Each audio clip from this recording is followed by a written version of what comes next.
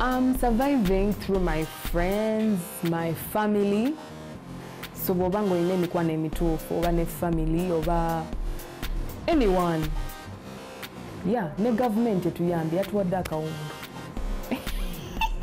omulimu gwange kuyimba mwenfuna sente zisasula landiroodi mwenfuna ezebeezaawo ngaomuntu sawa zino sikyayimba sikyalina gigs of course nina bills ezosasula zesobola sasula saawa zino yakugamba nkosebwa nnyo naye okuba nti ekintu kiri gobo sijja kukaaba mbere mu nyumba nkabe kuba bangi bakosebwa waliwo abafiiriddwa ebizimbe abafiiriddwa amamotoka abafi bingi kati sijja kuddawo nekubagize kubanga kintu kiri jeno kyawamu ffena kyatukutteko of course buli omu yafiiriddwa mu ngeri ye of course,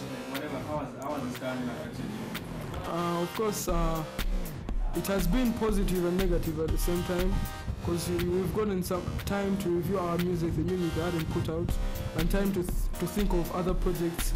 Um, I personally, I've got a chance to try out other stuff. My brother here is also trying out other stuff, production. But on the other side, I think it's very effective that we are we are not making any money actually through Yeah. through what performances Yeah. and uh, we're not actually getting any bookings since you know bars are closed no events allowed to happen you understand so it's a setback for us because you know this is a business Yeah. you know in a business you have to capital is there but you also have to look at where the profits are coming in So anyone who knows the hit nature, they know that we are very social.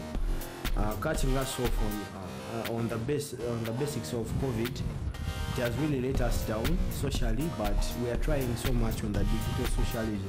Of course, uh, we used to go out, used to get some gigs and get some money. But right now, we are under lockdown. No shows, no nothing. You ain't getting that money. So basically, some of the artists who are surviving on this money, they didn't have any other options. So you can, you, you can tell what is going on in their lives right now.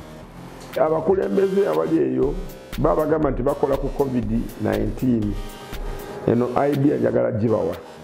Bwe muyamba ba artist ba uganda bonna abantu munabagamba basigale mu nju yadde emyaka ebiri bajja kusigalamu nga balina kye balaba.